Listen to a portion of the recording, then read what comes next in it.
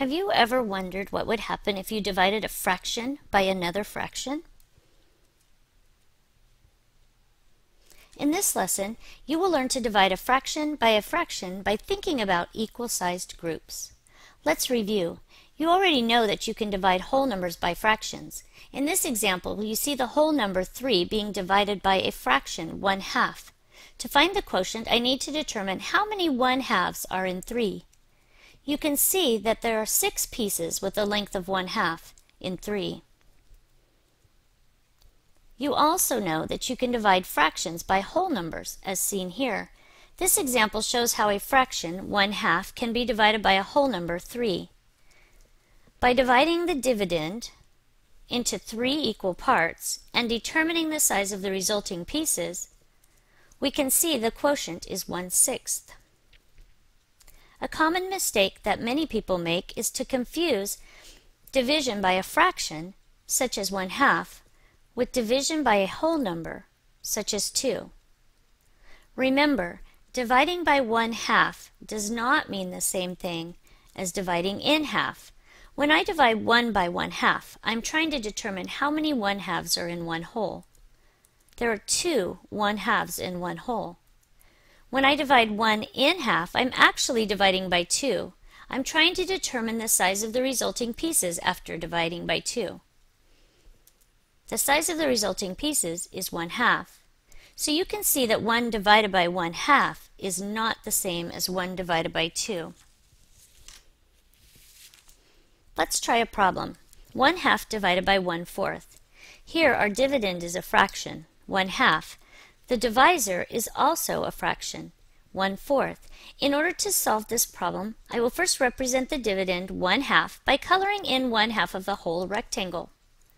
Next, since I will be dividing by 1 fourth, you will notice I have divided the second whole rectangle into four equal parts.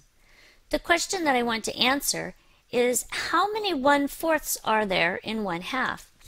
From this rectangular model, I can see that exactly 2 fourths are equivalent to 1 half. So 1 half divided by one-fourth is 2. Whenever I'm computing with fractions, I always need to ask myself, does this answer even make sense? I will check to see if my answer is reasonable by using the inverse of division, which is multiplication. If I take 1 fourth and multiply it by 2, I can see that two pieces, each a length of 1 fourth, will make 1 half. So yes, my answer does make sense. Here's another problem. 3 fourths divided by 2 eighths. Again, I will begin by shading the portion of the whole rectang rectangle that is my dividend, in this case, 3 fourths.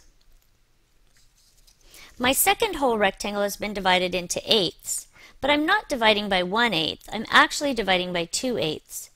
I need to determine how many sets of 2 eighths are there in 3 fourths. In order to do this, I will fill in the eighths two at a time. 2 eighths, another 2 eighths, and another 2 eighths. Now I can see that there are one, two, three sets of 2 eighths in 3 fourths. So my quotient is 3. Does this answer make sense? Let's use a multiplication sentence to check our thinking. 3 times 2 eighths, or 3 groups of 2 eighths,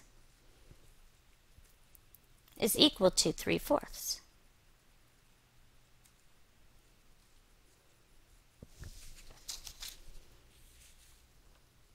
This picture representation makes it easy to see that 3 groups of 2 eighths is equivalent to 3 fourths. So yes, my answer is reasonable. It's always helpful to represent these solutions as multiplication problems because we can use multiplication to check our division.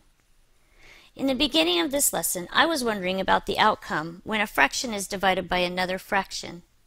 In this lesson, you have learned how to divide a fraction by a fraction by thinking about equal groups.